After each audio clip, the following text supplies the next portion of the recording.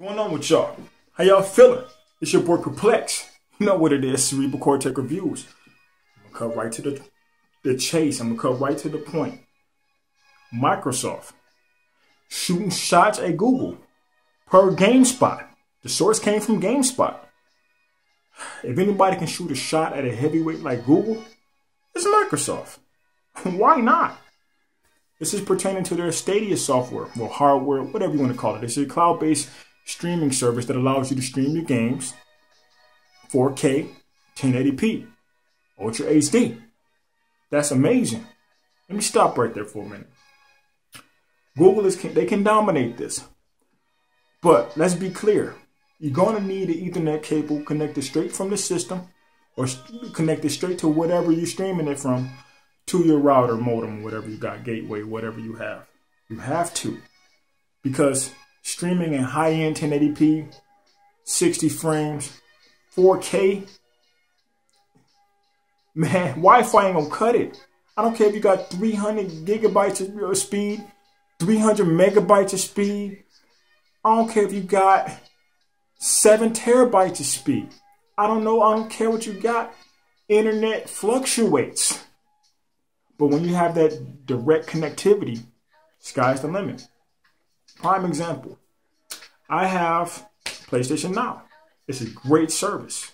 Tons of games. 700 and counting that you can stream. However, I can be directly close to my gateway, my wireless gateway, and sometimes I notice that it'll start to lag. I'll lose display. It'll start to struggle. It'll get weak, weak at the knees. And I'm banging about 200 megabits of speed.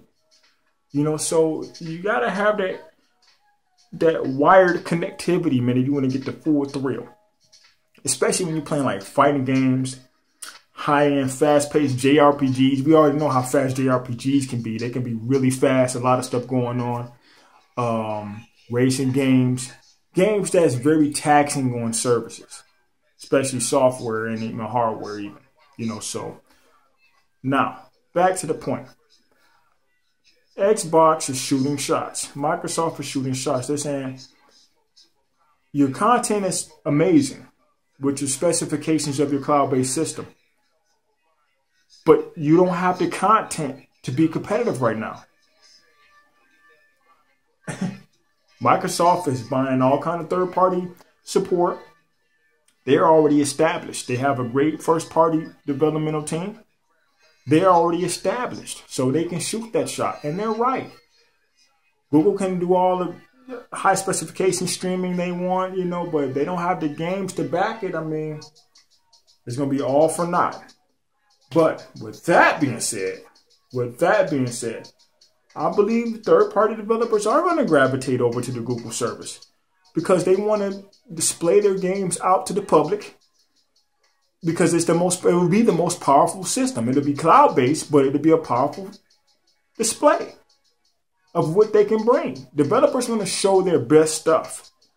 And the way you can do that is on the best systems, the most powerful hardware, the most powerful software.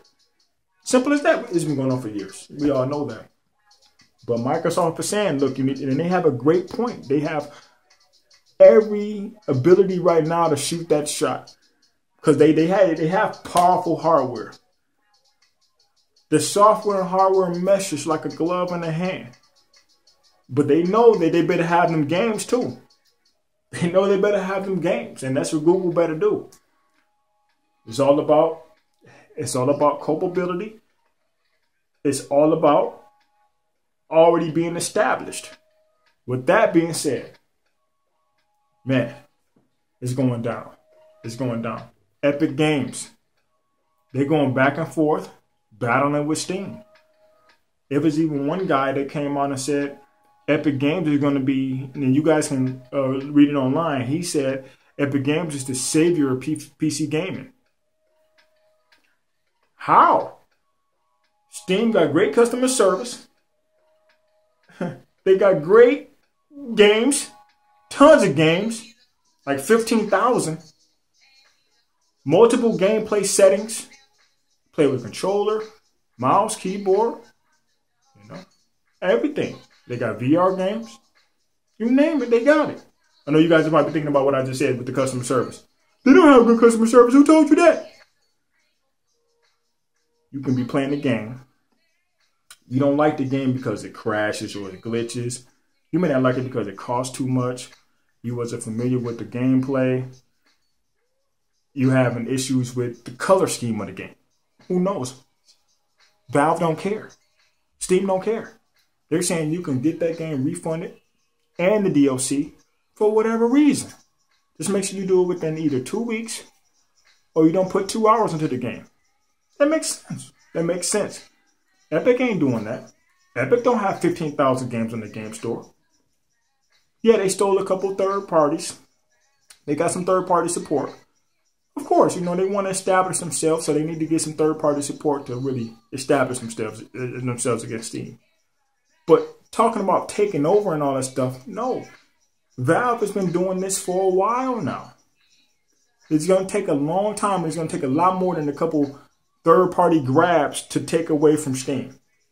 I'm still going to do my Steam game because, and it, not to mention the discounts. Every month, Steam is doing a massive discount. Games for 50 bucks, being sold for like 10 bucks. Game for 30 bucks, sometimes being sold for $2. They be having massive sales, 70, 80, 90% sales. Games for $20, five bucks. You know what I mean? You, you guys see it, man. It's amazing. You can play a lot of these games. Now, Steam software has got so incredible now to where you can play like 90% of these games now with a gamepad, with a controller of your choosing. You know, so you got to give it up to Steam, Valve, Steam. They, they doing it big. Epic Games got to get their establishment up first, similar to Sony. When they first came out with the PlayStation in 1995, then they come out the gates taking over. It took them about two years. They had to get third party support. It took them two years to get their, their name out, even though Sony was a known company, but they wasn't known in the gaming industry. People want something that's known, you know. So for them to be shooting shots, hey man, they got, got ways to go, according to Perplex. But I don't know everything. I'm just saying. This is speculation, but you heard it from me. Subscribe, y'all, and know how to stay hype. I'm out.